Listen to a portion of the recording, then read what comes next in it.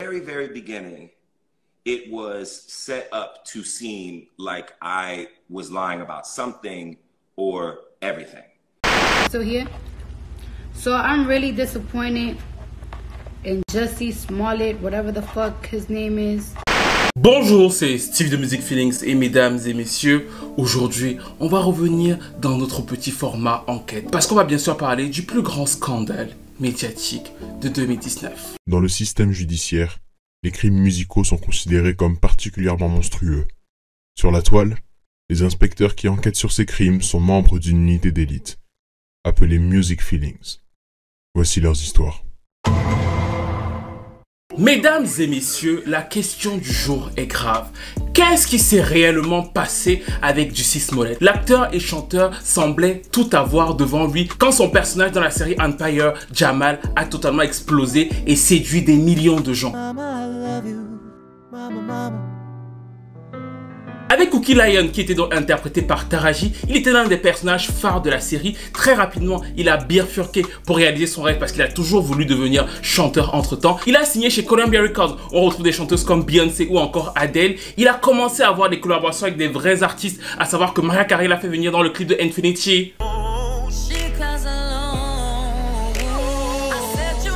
Alicia Keys est venue dans la série, c'est avec lui qu'elle a fait les petits Lovely Lovely. Et ils ont même eu une collaboration ensemble qui a été promue dans les radios américaines, à savoir Powerful.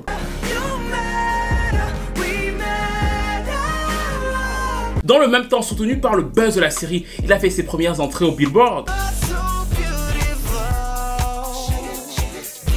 Il va ensuite lancer son propre label et signer d'ailleurs un très bon groupe de R&B actuel qui s'appelle Jones Diary. Il va commencer à les manager et on se dit le gars construit un petit empire musical et pile à ce moment-là, pile au moment où pour certains Juicy va commencer à prendre place dans l'industrie des disques, il va y avoir un drame. Un drame que vous et moi allons décortiquer ce soir, à savoir que un soir, mais mettez-vous bien dans l'ambiance. Quoique non, c'est encore le début de la vidéo. Un soir, Juicy va annoncer aux médias du monde entier qu'il a été victime d'une violente attaque homophobe et raciste. À savoir que deux hommes blancs avec des casquettes MAGA, Make America Great Again, vont le trouver dans la rue, vont le ligoter, vont l'injurier et ils vont même lui verser de l'eau de Javel en pleine rue de Chicago. L'affaire va émouvoir beaucoup de gens. Donald Trump lui-même va réagir. Dans la foulée, il va déclarer qu'il était le gay Tupac. Y'all bet not try it. I did not hire them brothers to jump me.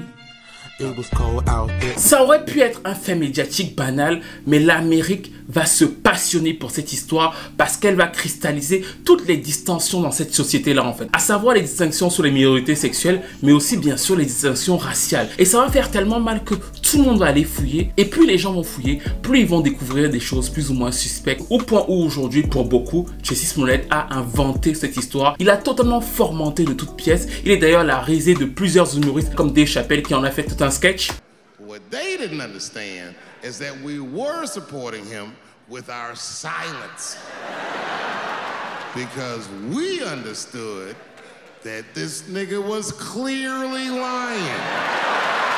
Tracy Morgan s'en est aussi beaucoup amusé. Contractually, all I gotta do is not fake a hate crime. That's it. Et tonton Quincy Jones, papy Quincy Jones, est allé jusqu'à dire que c'était la fin de sa carrière. Il ne pourrait plus jamais se remettre de cette histoire. Stupid though. Do you think his career is over though, Quincy? Yeah. You think it's done? He can't do a Yes, sir. comeback? Justement, l'acteur a quasiment été banni des dernières saisons de la série. Depuis, il n'a plus pu faire de retour médiatique et le seul retour qu'il a fait a encore causé un quoi. Et on va essayer de savoir, vous et moi, en retraçant chaque élément de cette enquête, si ses décisions sont exagérées, s'il subit une double peine, parce qu'effectivement, peut-être qu'il a dit la vérité que fatalement, les gens lui sont tombés dessus à tort. Quel rôle ont joué les deux Nigérians qui sont accusés d'être ses complices? Quelle était la motivation derrière tout ça? Et surtout, peut-il faire un retour musical? Son premier album n'a pas marché de ouf, on va comprendre pourquoi, mais est-ce qu'après cette histoire, vous seriez encore prêt à donner des streams à Justice Smollett Je trouve que les paroles de cette chanson sont très évocatrices en fait. Hurt people, hurt people. Les gens blessés en blessent d'autres. Appelez tata, tantine, grand-mère, tout le monde, on se met ensemble. Je suis bien sûr l'enquêteur en chef. Mais on va essayer de décortiquer au fil des éléments et vous allez me dire à la fin de la vidéo ce que vous pensez en fait. Au vu de tout ce qui aura été transmis. Et je compte sur vous pour le faire de façon très sérieuse. Parce que là on est comme dans New York Police Judiciaire. D'ailleurs, il y a un épisode de la série qui a directement été inspiré de cette histoire. Thursday, a celebrity is attacked. What that guy took from me, I can never get back. Now, his story Step aside. is a national obsession. NYPD's trying to make me look like a liar. I'm not letting this go. Si vous avez déjà voulu être Olivia ou Horatio, c'est votre moment. N'hésitez pas à liker, à commenter, à partager, à vous abonner au Tipeee pour soutenir la chaîne, à vous abonner à la chaîne. Et, chers amis, Justice Smollett est-il le plus gros mytho du game et mérite-t-il d'aller en prison comme le pensent beaucoup de gens, y compris des activistes afro-américains? C'est le début um, I don't know. Let's just hope that they are. You know what I'm saying? Like let's let's not go there yet. Let's um. I was talking to a friend and I said I just want them to find them, and she said, "Sweetie, they're not gonna find them." And That just made me so angry because so I'm just gonna be left here with this. Cette interview va partager beaucoup de monde. Certaines personnes vont être terriblement agacées, d'autres vont être très émues. Mais avant d'en arriver là, Justice Smollett est un énième American Baby. Ils sont six dans la famille, tous savent plus ou moins chanter et jouer la comédie. Et très rapidement, les parents réussissent à placer le petit Jussie dans plusieurs petits films. Il fait des apparitions et quand lui, ses frères et sœurs commencent à avoir un peu de notoriété, on leur fait carrément confiance pour avoir leur propre émission télévisée au milieu des années 90. C'était un peu la mode à l'époque avec des trucs comme Sister Sister. Ils avaient la leur, ça s'appelait On Your Own.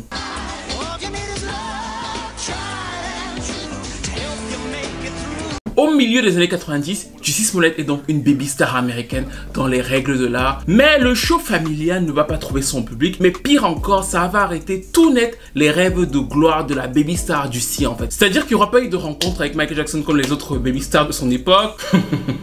Mais surtout pour lui, ça va être la grosse traversée du désert. Ce passage entre la baby star et la star adulte ne va pas se faire parce que tout simplement, il va être plus ou moins oublié du système. Certains de ses frères et sœurs vont réussir à se replacer, mais Ducey ne va pas y arriver. Il va essayer plusieurs choses entre le milieu des années 90 et le milieu des années 2000, mais rien ne va marcher. Et la fois, il va plus ou moins revenir dans les petites pages des médias. C'était pour ce qui est considéré comme son premier mytho. Soir de 2007, Juicy prend sa voiture.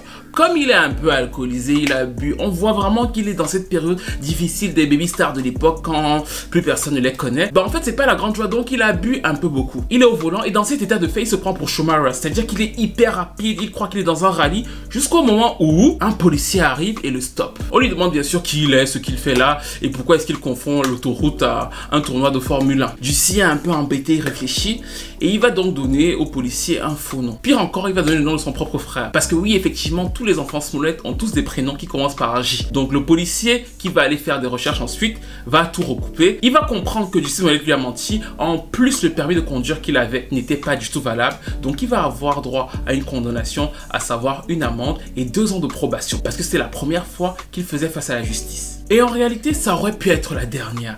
Parce qu'après ça, les choses deviennent encore plus dures pour Juicy. À savoir que tout l'argent de la baby star, quasiment 20 ans après, est dilapidé. Donc il doit travailler de lui-même. Il commence à faire des petits boulots. Il joue dans des petits théâtres. Et après, il y a tellement plus de rôles dans l'industrie du divertissement qu'il devient clown dans les soirées pour enfants. That just sounds bad. Like, just, I was a clown. I was a clown. And I wasn't like a high class clown, like, you know, in the circus or, you know, something like that. I was, I got, but I got paid $40 for a 40 minute party. C'est bien sûr terrifiant pour lui de ne pas y arriver, mais il n'abandonne pas. Il continue de faire certains petits castings et en 2011-2012, la petite chance commence à lui sourire. À savoir qu'il a le premier rôle dans un petit film gay et l'année d'après, en 2012, il sort son premier hippie parce qu'il a toujours voulu devenir aussi chanteur. Il n'avait jamais réussi à signer en maison de disque, mais là il sort un petit hippie de Poison Heart avec des titres comme celui-ci.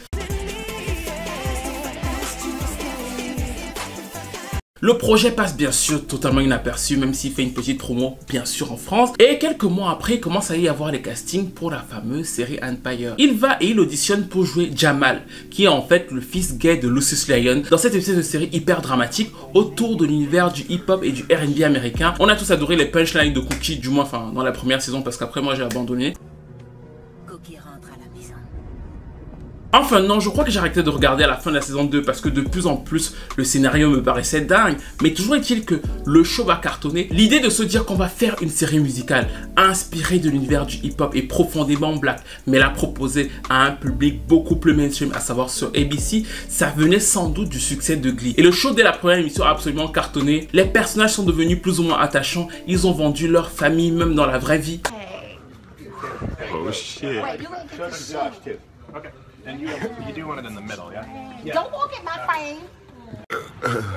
La série a fait venir plusieurs gros producteurs, notamment Rodney Jerkins ou alors Timbaland, qui ont produit des titres comme celui-ci.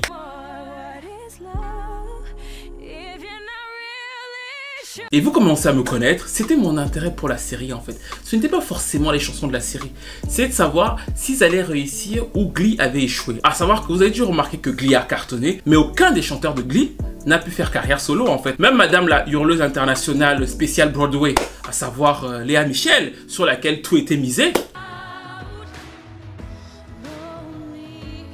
En fait, même elle n'a pas pu faire carrière solo. J'avais mon avis sur la question et j'étais très intéressé de savoir si chez Empire, ils allaient réussir à faire autre chose, notamment au moment où Jesse Smollett a signé chez Columbia. Parce que quand il a signé chez Columbia Records avec Adele et Beyoncé, je me suis dit, ça veut dire que Columbia mise vraiment sur lui. Mais est-ce que les gens vont réussir à faire la part des choses entre Jamal et Juicy. Parce que c'est le piège. On aime Jamal pour certaines choses. Et dans ce genre de série, on te fait faire plein de choses hyper différentes. Parce que c'est le thème, parce que c'est fun et que tu peux aller dans tous les sens. Et ça ne dérange absolument pas les artistes confirmés qui y vont parce que les fans font de fait la différence. Mais quand tu n'es pas connu et quand on connaît en tant que chanteur dans ce genre de série, ça peut être difficile, je parle dans le milieu de la musique urbaine, de faire la transition en tant que chanteur solo. Parce que toi-même, tu peux ne pas savoir ce que tu es au final en fait. Et c'était un cette partie-là qui m'intéressait beaucoup et spécialement sur sa carrière à lui parce que c'était lui que tout le monde adorait. Il était dans les clips de Maria Carré. Et duo avec Alicia Keys.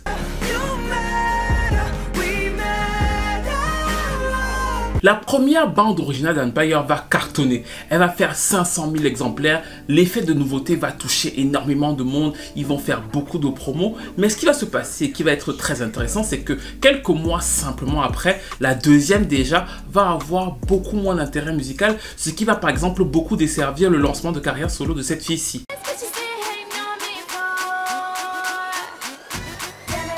Parce que elle, il l'avait vraiment placé là pour essayer de faire la bifurcation qu'elle n'a jamais réussi à faire. Ceci pour revenir sur le point original, très rapidement, l'effet musical autour d'Empire. Alors qu'il y a de plus en plus de stars qui arrivent, les Neo viennent y écrire des chansons, les Timbaland, tout le monde y vient, mais musicalement, ça ne touche plus comme sur la première saison. Et donc, très rapidement, Columbia met un stop. Ils revoient leur contrat avec Justice Smollett en se disant, finalement, ce n'est pas sûr que ça va marcher. Donc, avant même de sortir quoi que ce soit avec lui, ils se rendent bien compte que l'écosystème qu'il y avait au moment de la signature, qui était une euphorie, quelques mois après, n'est plus du tout le même autour d'Empire et autour même de DC qui a un certain âge parce qu'il a quand même plus de 35 ans à cette période-là. Donc il s'en sépare et c'est comme ça qu'il va lancer son premier label indépendant et en 2018 qu'il va sortir son premier album qui était notamment porté par cette chanson-ci. Pour moi, son album était très moyen musicalement et très générique, mais il pouvait y avoir des chansons sympas comme bien sûr Earl People. Bon, il était en indé, c'est sûr que ça n'allait pas marcher de ouf, mais le défaut principal pour moi qui a fait en sorte qu'il fasse moins de 10 000 ventes, c'est que bien sûr, le public d'Empire n'était plus du tout intéressé par la musique des différents membres, mais pire encore, c'était un album de Jamal en fait, c'est-à-dire qu'il avait essayé de compiler tout ce qui se faisait dans la série, il a fait en moins bien parce qu'il y avait moins de producteurs, il y avait aussi moins d'argent pour faire la promo, et inévitablement, l'album a floppé. Ça ne l'a pas empêché de continuer dans son projet musical et de se dire que même si moi, je ne peux plus exposer directement, je vais signer de nouveaux artistes, ce qui n'est pas une mauvaise idée. Il a notamment signé les Jones Diary et il leur a fait remixer son titre Earth People, ce qui est aussi une bonne idée se dire que ça n'a pas marché avec moi tout seul, vous chantez beaucoup mieux que moi, allez-y.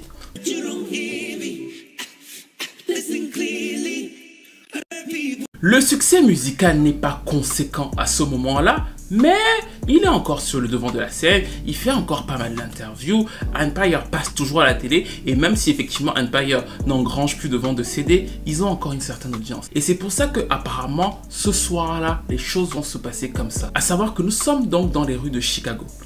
Juicy Smollett est en train de marcher après avoir acheté quelque chose au Starbucks. Il marche dans la rue, c'est tard le soir, il pense à ses différents projets, quand là, deux hommes vont venir l'agresser sauvagement. Ce sont bien sûr deux hommes blancs qui ne vont pas le voler, mais qui vont juste vouloir l'humilier à cause de sa sexualité et de sa couleur de peau. À savoir qu'ils vont prendre une corde, ils vont la lui mettre autour du cou, ils vont l'insulter dans les premiers rapports, on va dire qu'ils vont cracher sur lui et surtout ils vont lui verser de l'eau de javel. Il ne leur avait rien fait, il ne leur avait pas parlé, ils l'ont juste reconnu parce que c'était l'acteur de la série d'Empire, il était noir, il était gay, ils se sont permis donc de l'agresser physiquement, de l'humilier et leur mot d'ordre qui est très important dans l'histoire, c'était bien sûr This is MAGA Country, Make America Great Again. C'était apparemment des fanatiques de Monsieur Donald Trump.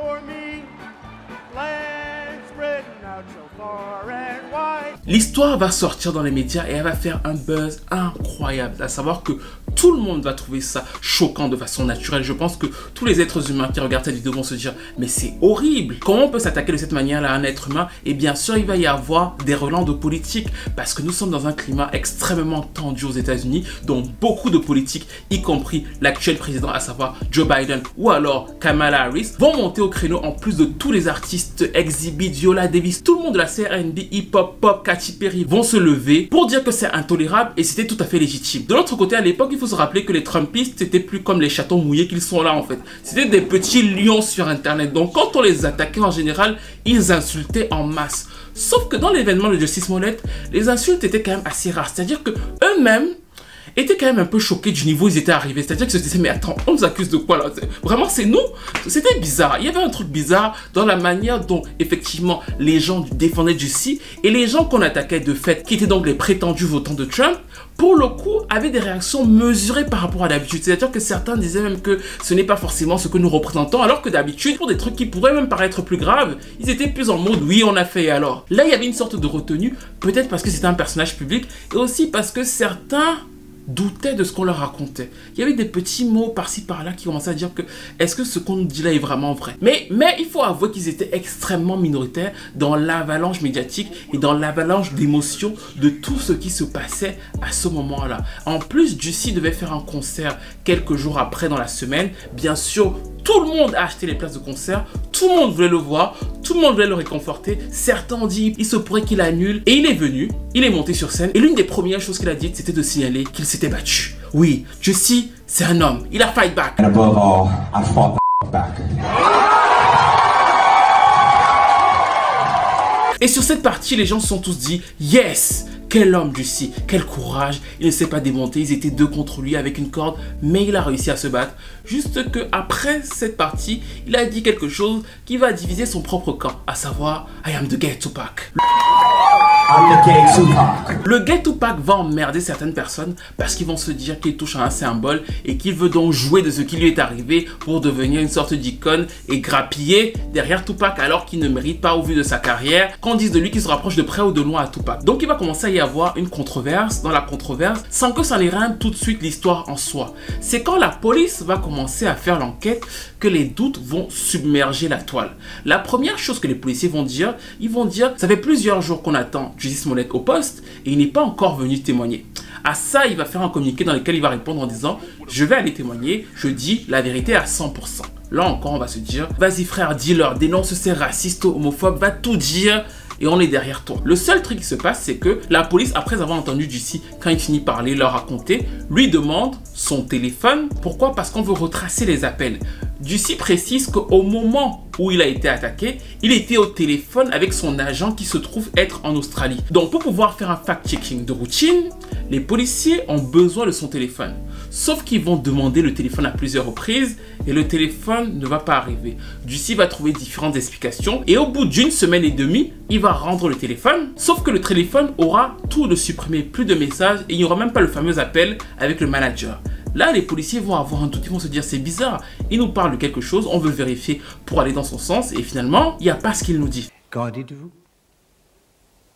Mais de l'autre côté, la tempête médiatique continue, l'émotion est à son comble, la gauche continue de beaucoup le soutenir. On pointe du doigt directement tous ses électeurs et bien sûr, Jussie a une immense exposition médiatique. Il va à Good Morning America, il s'assoit et il raconte son périple. Left here with with like so they get to go free and go about their life and possibly attack someone else. And I'm here to left with the, left with the aftermath of this bull. That's not cool to me.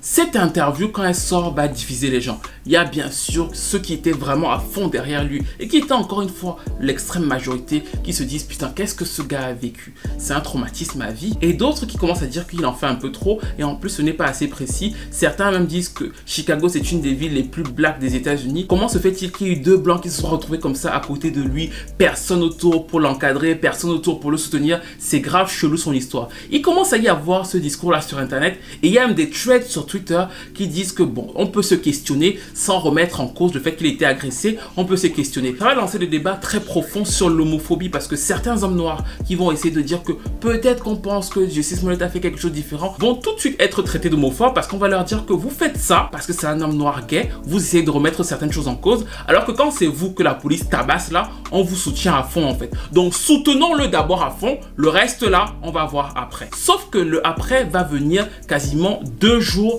après cette fameuse interview. Le après, c'est les premiers rapports de police qui vont leaker sur Internet. La première chose que la police dit, c'est que Juice Smollett a refusé d'aller à l'hôpital après s'être fait agresser. C'est-à-dire qu'on lui a dit, il faudrait qu'on vérifie les marques que vous avez eues. Il y avait quelques balafres sur son visage. Il n'a pas voulu aller à l'hôpital. Il n'a pas voulu donner son téléphone non plus.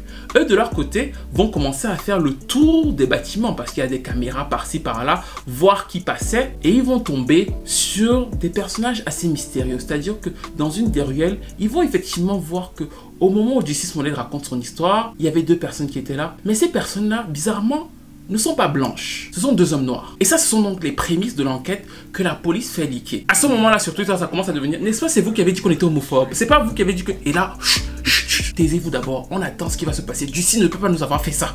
Juicy ne peut pas nous avoir fait ça. Tout le monde est suspendu à ce que Juicy Smollett va répondre. Et là, pendant que Justice Smollett prépare sa défense, la police accule. Au fil des jours, il montre la fameuse vidéo où ils arrivent dans l'appartement de Justice Smollett qui a toujours la corde autour de son cou parce qu'il a été agressé dans la rue. Mais quand la police arrive dans l'appartement, il a toujours la corde là pour leur montrer vraiment que pour prouver qu'il a vraiment vécu ce qu'il a vécu.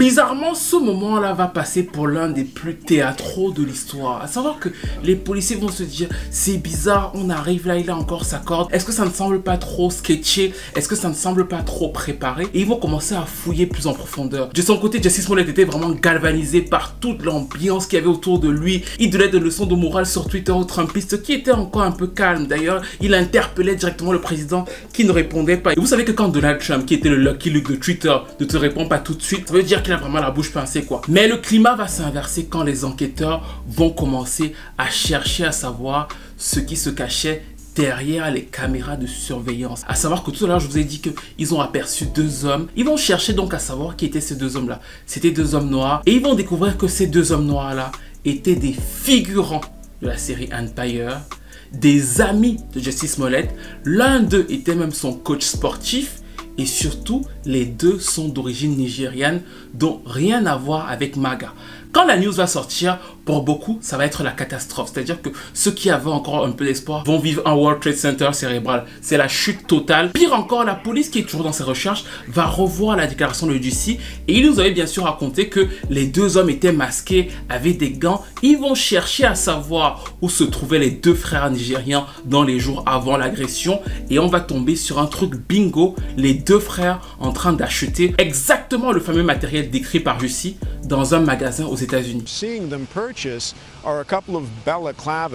Vous l'aurez compris, cette histoire va devenir de plus en plus grave parce qu'il va y avoir un feuilletonnage. Et Ducey, qui était donc très en haut, petit à petit va commencer à tomber et à ce moment précis, il va commencer à dire que les gens doutent de lui parce que les agresseurs sont blancs. Si ça avait été des noirs ou des musulmans, les gens n'auraient pas douté de lui. Et c'est donc là que les policiers de Chicago vont aller encore plus loin. Ils vont faire une perquisition chez les deux frères et on va y retrouver les fameuses casquettes rouges là qui ressemblaient à des casquettes de MAGA. Et surtout en fait, il avait déclaré qu'avant l'agression, il avait reçu une lettre de menace. Et chez les fameux frères, on va retrouver des magazines découpés pour pouvoir écrire des lettres anonymes. Et quand ce dernier élément va apparaître, bien sûr, dans le clan de Donald Trump, ça va être la remontada. Le président des États-Unis va directement l'interpeller sur Twitter pour lui demander mais qu'est-ce qui se passe? Et là, la plupart des commentateurs vont changer leur discours. Ils vont commencer à comprendre qu'il y a de vraies dissonances. La police américaine de son côté va faire venir les deux frères. Ils vont prendre une avocate et cette avocate dans un premier temps va non seulement porter plainte à l'équipe judiciaire de Justice Smollett, mais elle va faire un premier rapport en disant qu'en réalité, Jussie les a manipulés et qu'il ne savait pas ce qu'il faisait. Elle va même dire qu'il prépare une lettre d'excuse à l'Amérique. Vous rigolez avec la green card, les gars ont vu leur nationalité partir, ils ont abandonné Jussie. I think Jesse Smollett should come clear because the truth will set him free. Le monde artistique de son côté va aussi tomber de haut. D'abord, la série Empire va supprimer son rôle alors qu'il était encore engagé pour les deux dernières saisons. Même dans les épisodes qu'il avait tournés, on va refaire les scènes pour qu'il soit au minimum présent. Des artistes comme Cardi B vont dire que c'est un menteur et une honte pour le Black History Month parce que ça s'est passé en février. So here, so I'm really disappointed in Jesse Smollett, whatever the fuck his name is. I'm really disappointed in him. I feel like he fucked up Black History Month, bro. D'autres comme le légendaire Christy Jones vont dire que sa carrière est finie et qu'il ne reviendra plus jamais. Stupid though. Do you think his career is over though, Quincy? Yeah. You think it's done? He can't do Yes, a sir. comeback? Et le problème principal et vicieux de l'affaire était bien sûr politique. C'est-à-dire que le fait d'avoir dit que j'ai vécu un crime haineux parce que je suis noir et gay, ça a fait ressortir toutes les tensions raciales de l'Amérique. Et d'un coup, il a eu un soutien inconditionnel de beaucoup de gens, y compris des politiques très importants, comme je l'ai expliqué au début. Quand l'affaire s'est retournée, c'est devenu un argument de contre-campagne. Et les Trumpistes qui au début étaient les cibles sont d'une certaine façon devenus les victimes. Et lors de ses premiers meetings, Donald Trump s'en est servi.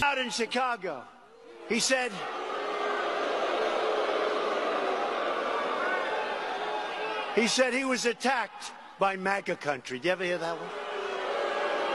L'affaire ne le concernait plus lui et il y a un article très intéressant du Washington Post qui l'explique, c'est-à-dire que c'est devenu une affaire totalement politique parce que beaucoup de gens se sont dit si les gens commencent à penser que quelqu'un peut mentir sur une histoire pareille, ils ne vont plus croire quand on va leur raconter les crimes haineux que subissent chaque jour des noirs et des gays aux États-Unis en fait. C'est-à-dire que d'un coup, il a discrédité toute une partie des activistes afro-américains et c'est aussi pour ça que certains d'entre eux ont réagi de manière très brutale envers lui quand il va être inculpé parce que le chef de la police de Chicago va venir devant les médias, il va l'inculper et surtout au vu des preuves et des éléments qu'il va avoir, il va nous dire que non seulement Ducey aurait payé les deux hommes 3500 dollars. Ils ont récupéré les tickets de caisse des différents éléments qui avaient été achetés pour pouvoir faire l'attaque. Mais surtout, la raison aurait été que le gars n'était pas content de son salaire. I come to you not only as the superintendent of the Chicago Police Department, but also as a black man whose Jussie Smollett took advantage of the pain and anger of racism to promote his career. C'est-à-dire qu'il était payé 60 000 dollars par épisode. Au début de la série, il était à 30 000 dollars. Il est passé à 60 000 dollars et il voulait un peu plus. Donc il se serait dit qu'en ayant un gros buzz, en attirant toute cette attention, il aurait touché beaucoup plus. Et c'est comme ça donc qu'ils auraient conçu ce petit plan. Et comme je vous l'ai dit, là on va voir une vraie blessure chez plein d'activistes afro-américains et LGBT qui vont se dire que ce gars, ce qu'il vient de faire, il ne s'en rend même pas compte en fait. Parce qu'on n'a pas besoin de faux crimes aux États-Unis. On en a chaque jour. Le gars est une célébrité, donc du coup, il a apporté aux yeux du monde un argument qui va se retrouver contre nous-mêmes. C'est pour ça que par exemple que des activistes comme Nadia Ali ont fait tout de suite des conférences de presse où ils ont appelé toute la presse américaine pour dire lui là, nous soutenons tous les noirs, mais on se désolidarise de lui et il doit aller en prison. We believe Jussie Smollett lied about being the victim of a hate crime and being assaulted. And for us, it's a slap in the face. Jussie Smollett put people's lives at risk Et donc Jussie va être arrêté, il va être libéré tout de suite après sous caution et il va organiser sa défense parce que selon lui, bien sûr, il est innocent. Il a vraiment été attaqué par deux hommes blancs qui lui ont mis la corde au cou et qui ont versé de l'eau javel sur lui. Il maintient sa version. D'ailleurs, à ce moment-là aussi, il retrouve les deux frères nigérians qui entrent dans sa défense et donc de fait, ce qui s'était passé avant, ce qu'ils avaient révélé avant à la police n'était plus censé compter. C'est-à-dire qu'ils ont changé d'avocate, ils se sont retrouvés dans la défense de Jussie Smollett pour pouvoir attaquer le procès et donc apporter de nouveaux éléments. Là, l'affaire va prendre encore un autre tournant parce que la procureure, à savoir Kim Fox, était très proche de Jussie Smollett. C'est-à-dire qu'ils ont fait plusieurs événements ensemble, plusieurs conférences et quand elle va prendre en charge l'affaire, les gens vont se dire, y compris le maire de Chicago, si c'est Kim Fox qui gère ça, elle va être partiale. Elle est de gauche et Jussie est un ami à elle. Donc de fait, on ne peut pas s'assurer d'avoir une justice équitable pour la police et les citoyens qui sont les principaux lésés dans cette affaire. All the individuals, gay men and women, who will come forward and one day say they were a victim of a hate crime who now will be doubted. On va avoir de nombreux dossiers politiques qui vont être liqués sur la toile, mettant en exergue quoi La corruption soi-disant manifeste de Kim Fox. Et quand certaines personnes vont voir ça, devinez les personnes que ça va intéresser de voir ça. Certaines personnes vont commencer à se dire, attends, attends, attends, attends, Kim Fox est corrompu mais on a un argument là. Oui, l'avocat, il est fan de R. Kelly. Pourquoi? Parce que R. Kelly vient d'être emprisonné. C'est Kim Fox qui portait le dossier. Et donc, quand elle se retrouve mise à mal dans l'affaire de. Smollett parce qu'on l'accuse de corruption, eux aussi commencent à faire des manifestations qu'ils font tous les 15 jours depuis quasiment deux ans pour demander le free R. Kelly et faire en sorte que Kim Fox soit révoqué parce que selon eux, si Kim Fox est révoqué, vu que c'est une procureure corrompue, peut-être que leur champion va sortir de prison.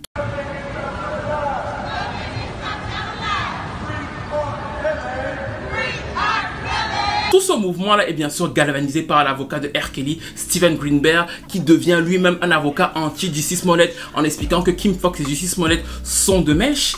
Et en fait, ce qui va se passer, c'est que de manière un peu bizarre, ça va plus ou moins se vérifier. Kim Fox, à un moment, va dire qu'elle se révoque de l'affaire, mais Ducey qui risquait quand même plusieurs années de prison et qui, rappelez-vous, n'était pas à son coup d'essai c'est un récidiviste. Donc de fait, il pouvait y avoir quelque chose. Bah en fait, elle va décider d'avoir un accord avec lui, de ne pas porter l'affaire devant les tribunaux, tout en précisant dans tous les communiqués que ça ne veut absolument pas dire qu'il n'a pas fait ce dont il est accusé en fait. C'est qu'il préfère juste gérer l'affaire comme ça parce qu'en réalité ce n'est pas un fait très grave. Et cette décision ça va choquer y compris le maire de Chicago, mais plusieurs personnes de la ville qui vont recommencer les manifs. Pourquoi? Pour faire partir Kim Fox et enfermer Justice Smollett. Hein Watson? Ça ne tient pas debout. Et c'est donc elle qui va venir devant les médias expliquer pourquoi elle a fait le choix de ne pas le mettre devant les tribunaux où il risquait une lourde peine de prison, surtout que c'est un récidiviste. They're guilty of a crime if they meet certain criteria. If the background is this is a low level offense, they are eligible to have their cases disposed of in diversion. They don't have to have a finding of guilt or an admission of guilt. De son côté, il va continuer sur sa théâtralisation du débat, à savoir que lui joue la posture de l'homme contre tous. Quand il arrive au tribunal, on n'a même plus l'impression que c'est Justice Smollett. On a l'impression que c'est Jamal dans Empire. Just anything you want to say? Jussie, did you lie to police? Tout en continuant de déclarer qu'il est innocent. Et ce petit truc va semer la confusion. Parce qu'au moment où donc il va être libéré et plus ou moins acquitté, les gens vont croire que ça veut dire que la justice américaine a reconnu qu'il n'avait rien fait. Or, la justice américaine, Kim Fox, disait on ne dit pas qu'il n'a rien fait, on considère juste que ce n'est pas une affaire très grave et que c'est mieux qu'il rentre chez lui en payant une amende. C'est ce qui est précisé à chaque fois dans tous les record deals. De son côté, DC dit que la vérité a été entendue et ça, Donald Trump ne va pas bien le prendre. Et il va donc décider d'envoyer, vu que l'affaire était politique, le FBI à Chicago. Depuis, c'est plus ou moins dur artistiquement et médiatiquement pour Justice Smollett. C'est-à-dire qu'il a fait une longue pause et bien sûr, il n'est plus dans aucune série, aucune chanson. C'est devenu assez difficile de le voir apparaître même quelque part, surtout que Empire s'est terminé et déjà dans les derniers épisodes où il était dans Empire, je vous l'ai dit tout à l'heure, on l'a supprimé. Donc sa carrière est totalement au point mort. Pour quelqu'un qui voulait doubler son salaire, si c'est vraiment le cas, c'est une opération plus que foirée. Il n'aurait pas fait pire en se tirant directement dans la jambe. Mais maintenant que vous avez les éléments et qu'on doit en discuter pour savoir qui a raison et qui a tort, je dois vous dire que moi, au début, je ne fais pas partie des personnes qui ne l'ont pas cru. Au début, j'étais absolument choqué. Je me suis dit, mais comment ça peut lui arriver? C'est quelle horreur et je dois avouer qu'il y a une chose qui me différencie peut-être de beaucoup de gens, c'est que j'ai jamais trouvé que c'était un très bon acteur. C'est-à-dire que même dans la série Empire, j'ai jamais trouvé qu'il était très bon acteur. J'ai toujours trouvé qu'il surjouait un peu. Et donc de fait, quand j'ai commencé à le voir sur scène, j'ai trouvé ses réactions un peu bizarres. C'est-à-dire que j'ai toujours trouvé qu'il y avait un léger côté de surjeu. Même la manière dont il dit que je me suis battu en retour, on dirait qu'il a préparé son truc en fait. Il n'y avait rien de naturel dans sa manière de se comporter. Mais ça ne jouait pas en sa défaveur selon moi. Je me disais toujours que il veut se mettre en avant, mais il a subi quelque chose de terrible. Ce qui a forgé mon opinion dans cette affaire n'est même pas le déroulement de l'affaire en elle-même. Et bien sûr, je parle d'opinion. Je ne suis pas ici juge ou quoi que ce soit aux États-Unis en fait. C'est ma petite opinion par rapport à mon petit regard. Je ne condamne absolument personne. Mais ce qui a donc forgé mon opinion n'est même pas ce que je viens de vous raconter. C'est-à-dire que pendant cette histoire, je me suis dit que parfois il était coupable, parfois peut-être qu'il y a eu quelque chose. Des fois, je lui laissais le bénéfice du doute. Et ça, je pense que ça a été une sorte de naïveté de ma part. Mais le truc qui a fait en sorte que je me forge mon avis, c'était son retour médiatique. Il n'a pas parlé pendant quasiment un an. Et un jour, il est revenu, et il est revenu par la musique. Et donc, il a posté une vidéo de lui train de jouer au piano et en chantant. Quand il a posté cette vidéo, je me suis dit, ah, c'est cool. Et je l'ai reposté sur mes réseaux sociaux sans même la regarder jusqu'au bout. En fait, je me suis dit, ah, c'est cool, il est de retour. Allez, je la balance. Et je m'en souviens très bien parce qu'il y a un chanteur qui s'appelle Joey Mata. Je sais pas si vous le connaissez, c'est un chanteur de RB français, plutôt bon dans son genre, c'est lui. Mais cette histoire ne tient qu'à un fil. Qui a commenté cette vidéo et la première chose qu'il a dit, je m'en souviendrai toujours, c'est qu'il a dit mais en fait il n'est pas en train de jouer au piano, il fait semblant de jouer au piano. Et moi je n'avais pas bien regardé la vidéo, c'est-à-dire que j'avais regardé en mode oh il est de retour et tout, bon je repose les gens vont kiffer ou pas kiffer et j'avais pas donné mon avis. Et donc quand Joey lui a regardé, il a directement fait ce commentaire là. Et du coup moi j'ai re-regardé et effectivement il ne jouait pas au piano dans cette vidéo en fait.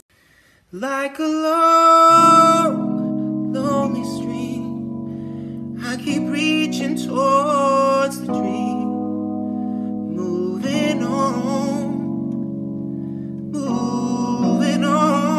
C'est-à-dire qu'on voyait bien que la manière dont il posait les doigts n'allait pas avec la mélodie. Il y avait quelqu'un d'autre derrière lui qui jouait au piano et il faisait semblant de jouer au piano pour pouvoir poster sa vidéo.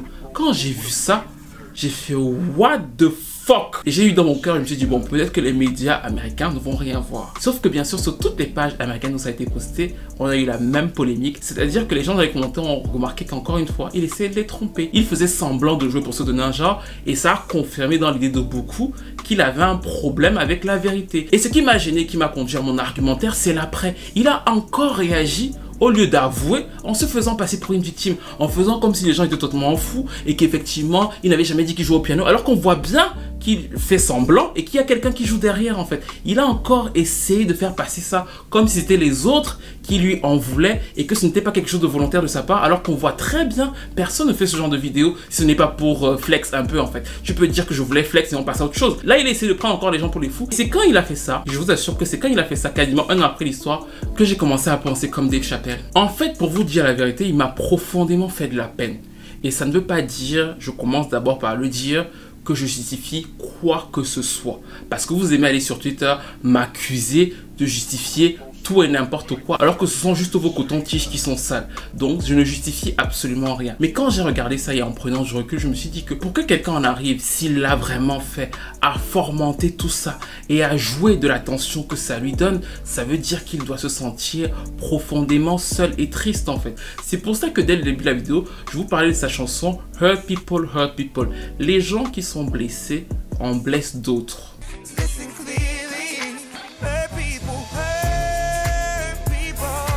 Et dans la chanson, il continue en disant ils le font sans savoir pourquoi, ils le font sans savoir comment. Et j'ai trouvé que ça représentait en fait très bien l'histoire au final en fait. Pourquoi? Parce que tout son discours depuis le départ, c'est moi, moi, moi, moi. À chaque justification, je me suis battu, je suis le gay Tupac, je, je, je. Il centre absolument tout sur lui et on retrouve peut-être là les stigmas de l'enfant star qui veut retrouver de l'attention parce qu'il en a et qui ne veut surtout pas la perdre en fait. Parce que lui, il a galéré pendant plus de 15 ans et on peut comprendre cette blessure-là de ne pas vouloir perdre quelque chose pour lequel on s'est battu. Mais en arriver à de telles extrémités et surtout ne pas comprendre que à certains moments, le fait de jouer le moi, moi, moi, moi, si il a vraiment commis ça, peut être dommageable pour des milliers d'Afro-Américains et des milliers de LGBT américains, me paraît toujours être extrêmement malaisant parce que depuis le rapport du FBI qui s'est donc fait en 2020, l'affaire est de nouveau relancée. Il a fait une motion de censure en demandant à ne pas être rejugé pour la même chose deux fois, sauf qu'il n'avait pas été jugé la première fois pour le fait. Donc cette demande a été rebootée et il risque donc d'être jugé dans les années à venir ou dans les mois à venir pour cette même affaire. I mean I did hoax, obviously. Out of all these jokers in this entire situation, I am the only human being who has not changed his story one time. Donc on risque d'avoir affaire à un feuilletonnage encore une fois. Il reviendra dans les médias disant qu'il dit la vérité. Tout le monde sur le plateau fera semblant de le croire. Dès qu'il va partir, on va se refoutre de sa gueule comme dans 99% des médias américains aujourd'hui. Like, who are the MAGA supporters who hate gay people who hate black people, but also happen to watch Empire? Et ça donne cette image des Noirs qui mentent sur les crimes qui leur sont arrivés. Bien sûr, ça ne veut pas dire que ça justifie la personne qui pense comme ça, mais le fait qu'ils reviennent tout le temps dans l'actualité en pensant que c'est about him, alors que c'est about toute une communauté, et que gérer cette affaire, ou alors avouer, ou alors s'arranger avec la justice dès le départ, en ayant une attitude plus conciliante, et ne pas aller au fight en disant je suis totalement innocent, alors que clairement il n'a toujours jamais pu justifier le fait qu'il avait supprimé tout ce qu'il y avait dans son téléphone, le fait que ces gars-là étaient là, le fait que ces gars-là aient acheté tout ce qu'ils ont acheté et que c'était exactement la description qu'il y avait dans son témoignage. Le fait qu'il y ait même une vidéo de ces gars-là en voiture en train de courir après l'agression à l'endroit qu'il a montré. En fait, je suis limite un peu plus choqué par ce que je vois comme étant une sorte d'égocentrisme exacerbé. Et peut-être que ça vient aussi du fait que j'ai un peu de mal avec les me people, c'est-à-dire que les gens qui sont toujours euh, face à eux-mêmes en train de te dire moi, moi, moi, parce que ce sont des gens qui ont du mal à percevoir ce que l'autre ressent, ce que l'autre vit. Donc de fait, comme j'ai du mal avec ce genre de personnes, peut-être que c'est cette partie qui me choque le plus. Cette partie où je trouve qu'il manque d'empathie par rapport aux personnes même qui le soutiennent. Parce qu'il y a des gens qui le soutiennent encore, qui te diraient que oui, la justice de Chicago a tout falsifié pour que Justice Smollett paraisse coupable parce que c'est un noir. Il y a des gens qui pensent comme ça. Alors moi, je trouve que c'est contre-productif de le faire parce qu'en jouant à ce jeu-là, on met Justice Smollett sur la même barre qu'un Trayvon Martin qui a vraiment subi des sévices en fait. On fait comme si la police américaine les avait mis sur le même plan. Alors peut-être qu'elle n'a pas été totalement juste avec Justice Smollett, mais au vu des différents éléments quand même qui sont apportés et au vu des nombreuses preuves et sachant qu'on n'a vu aucun homme blanc passer dans l'entourage, on peut quand même se dire que là, c'est un cas où effectivement il a fauté. Mais c'est juste pour vous dire qu'il y a des gens qui le soutiennent et que même envers ces gens-là, il n'a pas le côté de se dire que pour que ces gens-là soient libérés et pour qu'on ne puisse pas continuer ce feuilleton-là qui peut faire du mal à des vrais noirs qui se font agresser et à des vrais gays qui se font agresser, je peux back up et peut-être avouer. Non, ils font dans cette idée-là et c'est peut-être pour moi la partie la plus triste de l'histoire. Et je pense même que ça peut être contre-productif en termes de carrière. C'est-à-dire que les Américains aiment bien ces histoires de comeback. J'ai fait ça, je reviens, je peux m'excuser, pleurer à la télévision américaine. Alors que quand tu es là en train de leur Pinocchio pendant plusieurs années, ça peut finalement être un argument à vie contre toi. Alors que là, tu peux peut-être passer une période à vide et après te rebrander, expliquer que ça, ce que, ce que tu, ce que tu as vécu, comment c'était dur, faire des conférences. Il y a toujours un moyen de se relancer aux États-Unis en fait, dans différents domaines en fait. Si ça ne va pas, tu crées ton église. Bref, nous arrivons donc à la fin de cette enquête sur ce qui s'est passé autour de Justice Smollett. Je vous ai donné les éléments, je vous ai donné mon avis, que vous n'êtes pas obligé de partager. hein. J'attends vos avis, j'attends vos débats, j'attends vos analyses. Est-ce que selon vous, il l'a fait? Est-ce que selon vous, il ne l'a pas fait? Est-ce que selon vous, Donald Trump a eu raison de réagir de cette manière-là? Ou est-ce qu'il n'a pas eu raison? Qu'est-ce que pour vous a transcrit cette affaire en fait? Non seulement de votre vision à vous-même, mais aussi politiquement. Est-ce qu'elle dit quelque chose de l'Amérique? Est-ce qu'elle n'en dit rien du tout? Comment auriez-vous jugé Justice Smollett dans votre pays à vous Si c'était votre pays, parce que peut-être vous n'êtes pas américain. Si c'était en France, ou au Sénégal, ou en Belgique, ou en Suisse, ou au Cameroun, ou en Italie, comment auriez-vous jugé Justice Smollett en fait? Dites-le moi dans les commentaires. Aurait-il mérité une peine de prison comme beaucoup le pensent? Il est soit l'un des gars les plus mythos du game, soit peut-être aussi le Mr Bean du game, à savoir qu'il lui arrive toujours une couille et ce n'est pas de sa faute. Bref, je vous attends en tant qu'enquêteur dans les commentaires. N'hésitez pas à décrypter tout ça, même politiquement ce que ça vous transmet, parce que je pense malgré tout qu'on ne peut malheureusement pas décorréler la portée politique de l'affaire dès le moment où lui-même a mis MAGA dedans en fait.